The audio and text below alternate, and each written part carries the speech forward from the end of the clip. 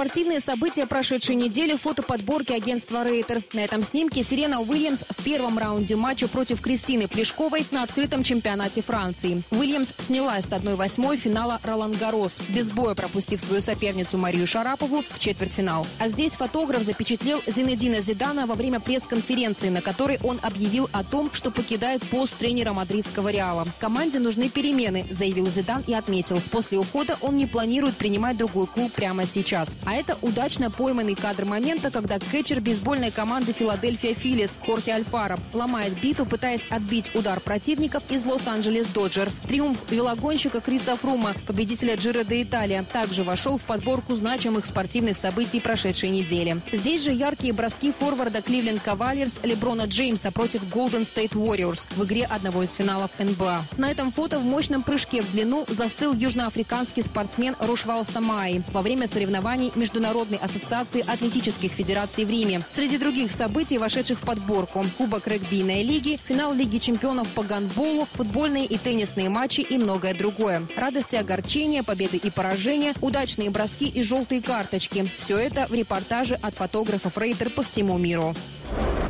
Издание «Чемпионат» рассматривает варианты продолжения карьеры экс-тренера Реала Зенедина Зидана. Сам француз сказал, что сейчас нуждается в отдыхе, и его решение понятно – после напряженных лет работы. Однако к активной тренерской деятельности он обязательно вернется. И какой же она будет? Издание рассматривает пять возможных сценариев. Не будет ничего удивительного, если Зидан через сезон-другой вновь возглавит Реал. Руководство мадридцев будет радо вновь принять тренера, переписавшего рекорды Лиги чемпионов. Не зря президент президент Реала Флорентино Перес подчеркивал, Зидану в Мадриде будут всегда рады. Согласно другому варианту, Зидан может возглавить сборную Франции. Команда не выигрывала чемпионат мира с 1998 года, когда на поле блистал сам Зидан в качестве футболиста. Если сборная провалится на Мундиале в России, с большой долей вероятности нынешний тренер Дидье Дешам уйдет в отставку, а главным кандидатом на этот пост станет именно Зидан. Третий вариант. Вскоре после пресс-конференции Зидана прошел слух, что француз возглавит сборную Катара за 50 миллионов евро в год. Такая возможность многими СМИ ставится под сомнение, так как игроки игроки Катара не славятся уровнем своей подготовки. И браться за малоперспективную сборную даже при зарплате с таким количеством нулей – это не путь Зидана, пишет чемпионат. Среди перспектив и переход в другой топовый клуб, например, в Пари Сен-Жермен, но только в следующем сезоне. Или же в Манчестер Юнайтед, на смену поникшему в последнее время Жозе Мауриньо. Пригодился бы Зидан и Ювентусу. Также чемпионат подобрал для Зидана менее очевидные, но весьма интересные вакансии, такие как пост тренера в Марселе, Милане или Челси.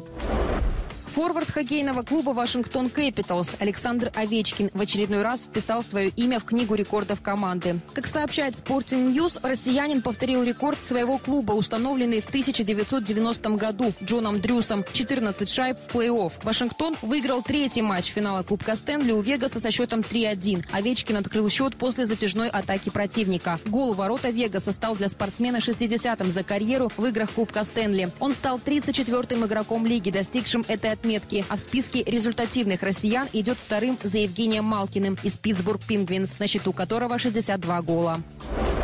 Победа над Джиро де Италия не помогла Крису Фруму получить допуск к Тур де Франс. Остался нерешенным вопрос с непройденным допинг-контролем. Подробности на страницах Wall Street Journal. Британский велогонщик Крис Фрум из команды Sky, четырехкратный победитель Тур де Франс, впервые в карьере выиграл престижную многодневку Джиро де Италия. Он встал в один ряд с легендами этого вида спорта, исполнив мечту любого велосипедиста. Несмотря на это, организаторы Тур де Франс, которая стартует 7 июля во Франции, не хотят видеть победителя в числе участников. Причиной Причиной тому допинг-проба, взятая у Фрума в прошлом году, которая дала положительный результат. Двукратное превышение допустимого содержания сальбутамола британец объяснил обострившейся астмой и избежал дисквалификации. Сам спортсмен свою вину в случившемся отрицает. Со своей стороны знаю, я не сделал абсолютно ничего предосудительного. Скоро это станет понятно всем остальным. Это всего лишь вопрос времени. Конечно, история с допингом негативно сказывается на моем имидже, но, надеюсь, ситуация разрешится. Прокомментировал свое положение велосипедист. Тем не менее, если по этому делу не будет решения до старта, то Криса Фрума отстранят от участия в Тур де Франс.